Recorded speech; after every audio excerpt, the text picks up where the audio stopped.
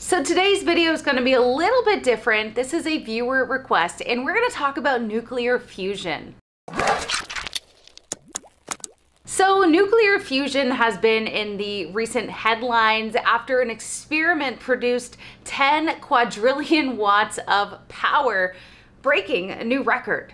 I decided to reach out to someone who has made this his life's work to help study nuclear fusion and try and make this a reality. His name is Siegfried Glenzer, and he came here from Western Germany several years ago, originally intending to stay for about two years to do some postgraduate studies, but he became so passionate about nuclear fusion research he is still working on it today, and I asked him what his reaction was after this experiment. When you heard, you know, what was produced, what was your reaction? I opened a beer.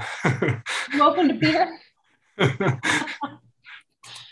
mean, an email to my colleagues and congratulate So, modern nuclear power plants use nuclear fission. That generates energy by splitting the heavy nuclei of elements like uranium and plutonium into lighter nuclei. So, the problem with nuclear fission is that it produces long lasting radioactive waste. And it is a lot of waste.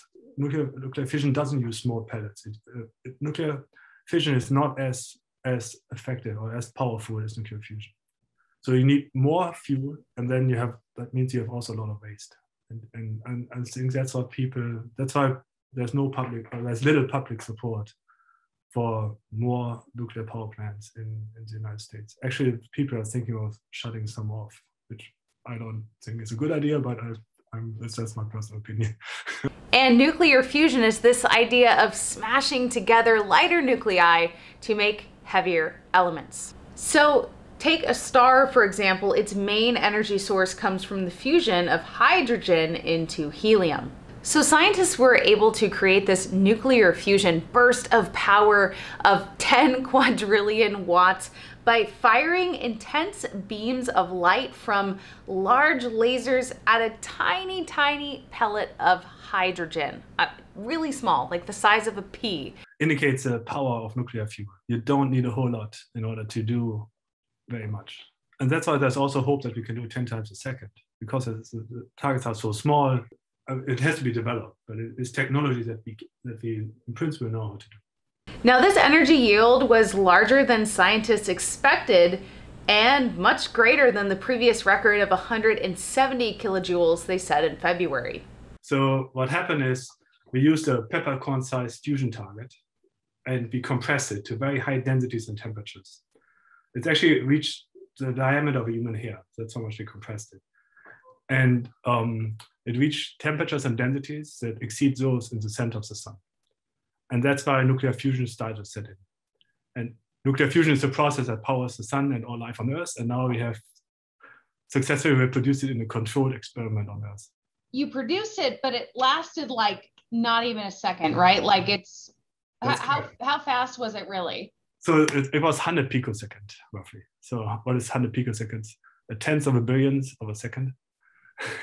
Siegfried used to work at the Livermore facility, but he is now over at Stanford. And he says that he and scientists at Stanford are working on a lower powered laser system that would be able to fire a lot more rapidly. So Siegfried thinks that we could hopefully see this in our lifetime, probably around 2050, but a lot has to happen before we get there. Progress, but still, I mean, so far off, right, from uh, anything we'll be able to see anytime soon.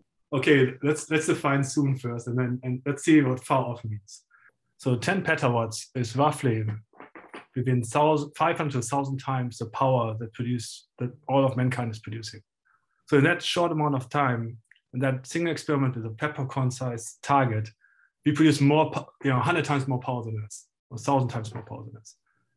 So it's an incredible release of, of energy for a very short amount of time. You're right. So now the challenge is we need to reproduce this often. And that means we have to get the technologies going. And people think if we can do this 10 times a second, it would be it would be uh, sufficient to scale to a power plant that can power the city of San Francisco. That's kind of the vision. so the reason why I think lasers are, are the way to go um, is simply this experiment will will drive laser technologies further. But remember the laser that the experiment was, was performed on, that's 1990s technology. And since then, lasers have vastly progressed already. So that's why lasers will continue to develop on rapid, rapid speeds, similar to not quite as, as good as a microprocessor, processor, but pretty close. So there's a good chance that we can build a laser, that's a technology to build a laser to repeat these experiments 10 times a, a second in less than a decade. So then, of course, that technology has to be has to be scaled up to to the, for the needs of a fusion power plant. That means you, you have to build a, a plant like this, like a um, demonstration plant. Right. That may take another decade. There's there's a good chance to have a power plant by 2050 or earlier. 2050. Yeah, that's still in my lifetime, I hope. it is great news for people like Siegfried who have wanted to show investors more proof of concept that this can be a reality someday. What is holding us back? Well, at some level, a success like this needed to happen for investors to believe in the technique, right? So now, of course, there's more hope. There's hope that there will be a significant amount of money um, in coming into the field. So we have bright young people, and if we have the funding, I think the, the field can grow and we can have more more innovations. Now, if we are successful in having this cheap, abundant, clean energy, how would that impact the world? so um, so first of all, that energy source is equitable. That means you don't need to be at a, at a certain location to, to do nuclear fusion because it uses um, the fusion fuel is widely available. Like deuterium is plentiful in the oceans. Um, tritium can be can be bred or bred in the in the facility itself. So it is widely available. So, and that means you can put your power plants where you, where you have your needs. There's a lot of fight about resources, about oil, gases, and so on. And, and that, that geopolitical fight will, will, will diminish. Right? So, so I think well, it could be a completely new planet, right? right. so, why you know why should everyone care about nuclear fusion and its possibilities for our planet like like simply put okay that's a good question let's think about it the simply put factor here so what is important is we're already experiencing every day the, that the climate is changing and um, with nuclear fusion, we will have the technology in place where we can alleviate the, the problems of climate change. So we will be able to do something about it. What that means is we, we will not only stop um, burning oil and gas, but we will also produce fuels for, for, for engines and for planes that we can still have transportation going, but we have it going with clean fuel. Right. And and the idea is like you could use ocean water and not a lot of it, right? You wouldn't need a lot of it if if if all works out like, you know, it could really just be amazing. Yes, you got it. yeah. So um that's that's the reason why, why young science young scientists and young students are so excited about it. That's why they want to enter the field because there's they, they believe that there's a better future out there with less impact on our planet but I think some people also think it, it might be too good to be true just because of how hard it is to, you know, to accomplish. So do you having this recent record, mm-hmm. do you think that, you know, it like it will take a bit of time, but we can we can do this? I believe so. Uh, the method has been too good to be true, but now that we have proved that we can do it, at least for a short amount of time, um, why would we stop now? We have been criticized for 10 years. The research is too expensive. It's never going to work. We will never be able to demonstrate it. And um, and we have been going for 10 years and we made it work. So of course we will not stop now, but we will continue. There's no question about it. Siegfried makes a good point when he says that this research has only been done for about the past 10 years for this laser technology and nuclear fusion. So experiments only with that can actually ignite like the, like the one in August um, that produced that had got enough nuclear fuel inside. We only do those like once a month.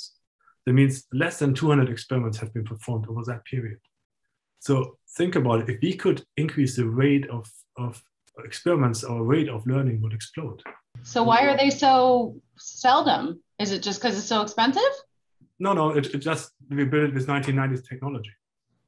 So if we now we already have better technologies. Now we would already shoot much faster. But right. Right. But that would require a new facility. Maybe. So the the lasers in this experiment are from the 90s. Right, exactly. In the short term, Siegfried says they have to build a 10 hertz laser so that they can do more of these experiments.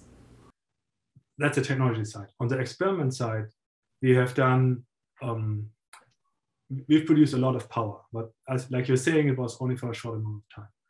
Right. So, but so the, the energy that came out of that experiment was still less than the energy that went in. That means there's no energy gain. So the next what we have to learn is producing copious amount of energy. That means we have to be able to get much more energy out than we put in. Siegfried says, in principle, they don't want to scale it up necessarily. They just want to be smarter about it. And he thinks that a lot of this learning and these experiments can happen in the next decade. I had a lot of fun digging into this video, and I really appreciate getting viewer requests for some story ideas to explore and learn about together. I hope that you guys enjoyed this video, and I want to hear from you in the comments what you think about nuclear fusion. If this, I'm sure it's something that a lot of you guys are familiar with, but what do you think about it? Do you think it's feasible in our lifetimes?